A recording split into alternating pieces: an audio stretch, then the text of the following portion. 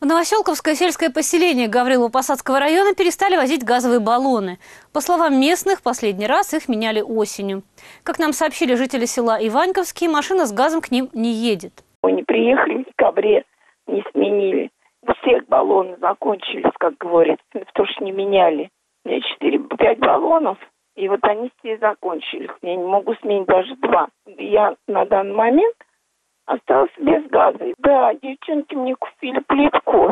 Как выяснилось, проблема касается всего Новоселковского поселения. Это 24 населенных пункта, где проживает около тысячи человек. Руководитель СИП «Газойл Плюс» компании, которая возит баллоны, Евгений Эревман, сообщил, что сотрудники его фирмы отправились на СВО. Кадров нет.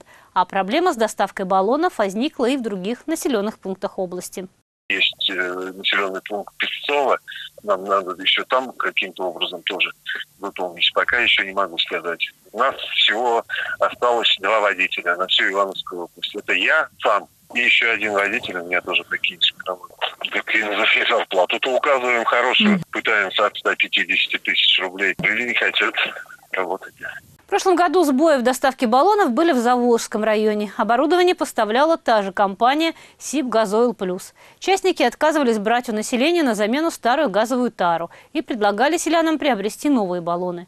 После вмешательства прокуратуры руководитель фирмы сообщил, что они будут работать в прежнем режиме.